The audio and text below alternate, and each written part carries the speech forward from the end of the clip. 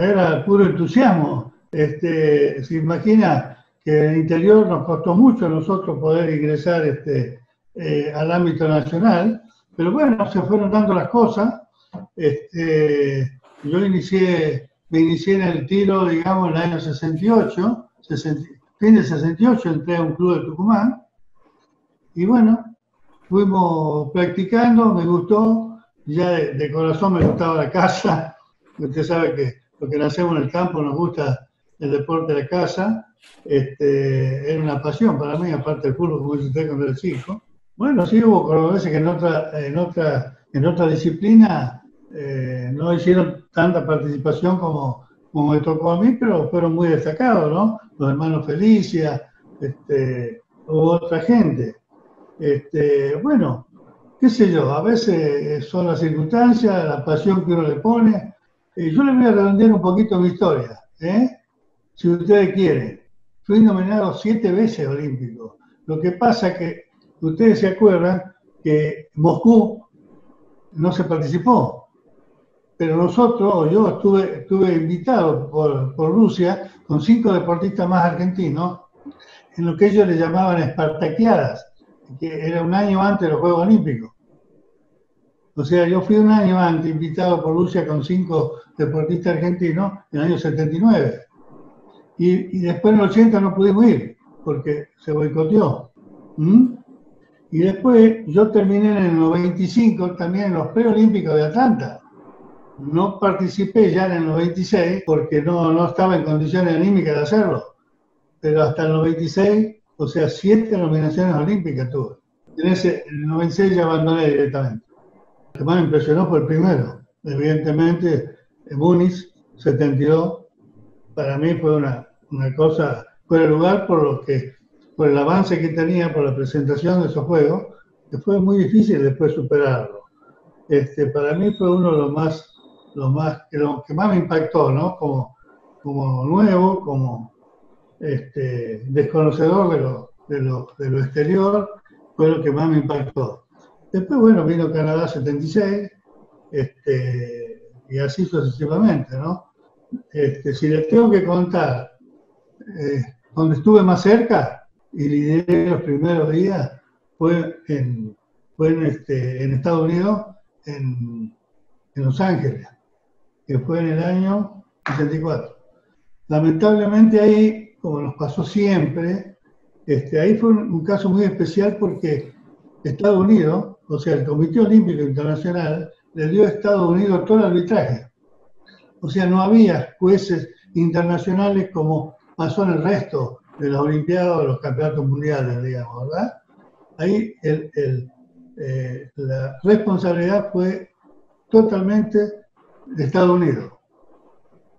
Y bueno, yo con Estados Unidos lo admiro por su, capacidad, por su, por su gran país que tiene, pero el deporte este, realmente teniendo algunos, algunos, desazones, digamos, ¿no? Principalmente eh, en, esa, en esos juegos yo estaba muy bien preparado, muy bien preparado, y como que empecé a liderarlo el primer día. Pero después se, se dieron maña para, como decimos acá, se dieron maña para perturbarme este, y, hacerme fallar, ¿no? Este, y usted sabe que cuando uno está en esa competencia de alto nivel y, este, y sin asistencia, porque nosotros, a mí me tocó desde que inicié, una falta total de asistencia de, la federación, del país, de tener buenos, buenos asistentes, médicos, entrenadores que nos acompañan. Entonces nos fue muy difícil a nosotros principalmente la gente del interior, este, eh, bancaron, como quien se dice, una competencia de esta naturaleza.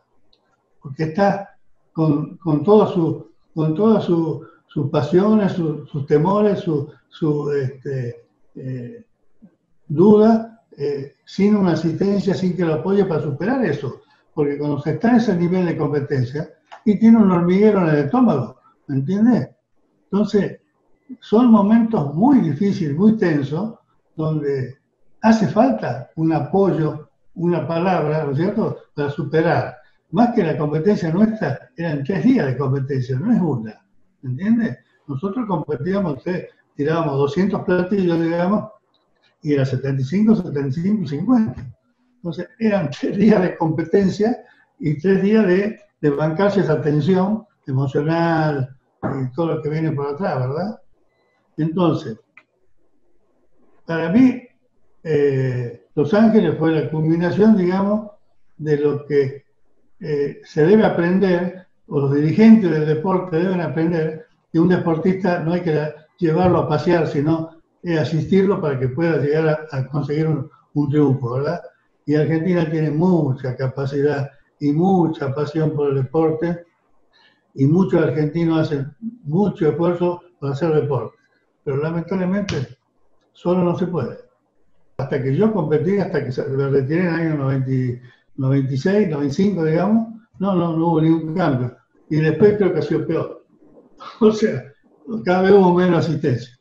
No sé los demás deportes, donde se mezcla un poco el profesionalismo con los amateur, tal vez ahí haya algo mejor. Pero lo que es amateur, no tengo la más mínima idea de información que se haya mejorado eso. La fiesta inaugural de unos Juegos Olímpicos no se puede olvidar.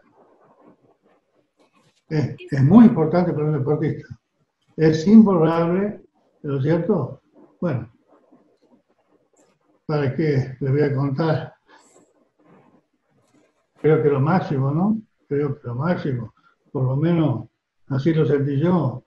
A pesar de que yo tengo medalla de campeonato del mundo, este, y de todo lo que se pueden imaginar ustedes, de argentinos, sudamericanos, panamericanos, pero lo máximo es el, olimpismo, ¿verdad? Es donde es el, el, el, máximo. Así que bueno, siento mucho y siempre me lamento no haber podido llegar, pero bueno, por lo menos un diploma, un diploma tengo. Y estuve prácticamente, como le digo, menos Múnich, que fue mi primera experiencia, este, estuve siempre dentro de los 10 primeros. inclusive de Canadá. A ver, por más que usted haya llegado al olimpismo, para mí siempre, aunque sea un campeonato nacional, yo llegué a tirar una Olimpiada y a la semana me llamaron a, nuevamente a selección argentina para ir a un sudamericano, por ejemplo, y para mí era tan importante como lo primero. Cuando uno ama la compasión, lo que, lo que quiere el deporte, no, todos son lo mismo. Todo uno quiere estar y quiere ganar, ¿verdad? Este, o sea,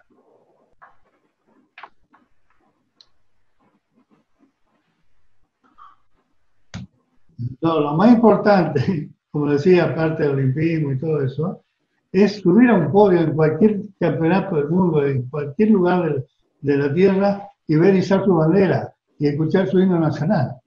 Yo creo que, por lo que yo viví siempre con toda la delegación argentina, este, eh, siempre la camaradería y, y, el buen comportamiento, muy raras excepciones, los argentinos siempre fue excepcional siempre fue excepcional porque este, dependíamos mucho de cada uno de nosotros, ¿me entiendes? Como le dije al principio. Este, el acompañamiento diferencial era poco, entonces la, responsabilidad eh, y, la entrega era, era muy personal. Yo le cuento más, yo fui abanderado en los Juegos, no sé si ustedes saben, fui abanderado en los, en los Panamericanos de Puerto Rico. Así que se, se imagina también es emoción. Bueno, yo creo que fue mi actuación y mi comportamiento dentro de, todas las pedanas del mundo. Yo he dejado algunas, algunos ejemplos este, por mal arbitraje este, en campeonatos internacionales. Le puedo, le puedo comentar que yo di medalla por, por, mal, por mal arbitraje internacional inclusive. Y siempre, lamentablemente, le toca a algún americano estar en el medio. Pero este, yo creo que lo que yo dejé fue mi comportamiento, mi dedicación y mi entrega al deporte. O sea que, este, que creo que también es importante, ¿no?